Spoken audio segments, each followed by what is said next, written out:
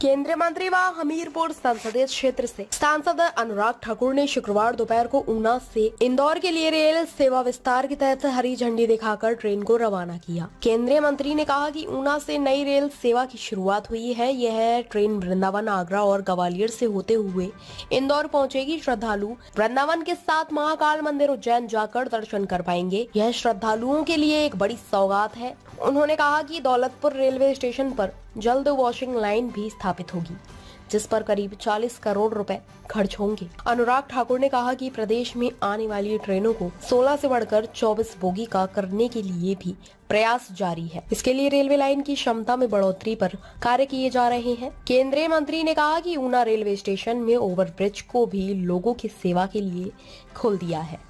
अब लोगों को एक प्लेटफॉर्म से दूसरे तक पहुँचने के लिए रेलवे लाइन को पार नहीं करना पड़ेगा। उधर कांग्रेस की ओर से गरीब परिवार की महिलाओं को प्रतिवर्ष एक लाख रुपए देने की घोषणा पर अनुराग ने कहा कि चुनाव आने से पहले कांग्रेस ऐसे वादे करती है और बाद में उनके आवेदन फार्म कूड़े में फेंक देती है। उन्होंने कहा कि हिमाचल में महिलाओं को एक हज़ार पाँच सौ रूपए दिए नहीं गए तो पूरे देश की महिलाओं को कांग्रेस कहाँ से यह राशि देगी? देश के बीच में एक नई रेल सेवा की शुरुआत हुई है। ऊना से लेकर इंदौर तक की ये ट्रेन ऊना से जब चलेगी तो आगरा भी जाएगी, वृंदावन मथुरा भी जाएगी। ग्वालियर, महाकाल लोक और फिर जो हमारे उज्जैन में है और फिर इंदौर तक की ट्रेन जाएगी। एक बहुत बड़ी सुविधा, एक बहुत बड़ी सौगात नरेंद्र मोदी जी ने, माननीय प्रधानमंत्री जी और रेल मंत्री जी ने दी है। मैं इनका बहुत बहुत आभार प्रकट करता हूँ। लंबे समय से हमारे क्षेत्र की मांग थी।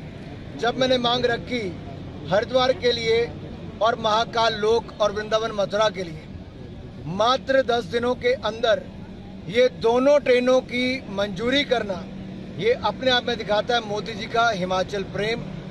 ये हमारी एक बड़ी उपलब्धि है और इसके साथ साथ हमने दौलतपुर चौक के लिए एक वॉशिंग लाइन भी मंजूर करवा दी, जो करोड़ों रुपए, लगभग चालीस अड़तालीस करोड़ रुपया खर्च होगा।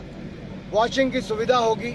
जितनी ट्रेनें हमारी पहले रुक जाती थी, भविष्य में अब हम उनको वहाँ लाएँगे भी, सफ़ाई भी कराएँगे, यानी कि भविष्य में और ट्रेनों का हिमाचल से चलने का रास्ता खुल गया है।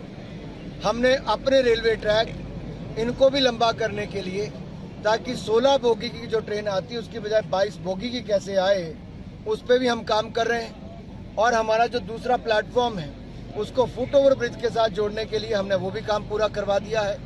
हमारी, इसकी भी एक बहुत बड़ी सुविधा उत्तर रेलवे के माध्यम से यहाँ पर मिली है। और साथ ही साथ अम्ब इंदौरा रेलवे स्टेशन। हमारा आधुनिक सुविधाओं के साथ लैस होगा। कुछ महीनों में बनकर वो भी तैयार हो जाएगा। ताज़ा अपडेट्स और बड़ी खबरों के लिए सब्सक्राइब करें आज प्रकाश टीवी और बेल आइकन दबाना न भूलें।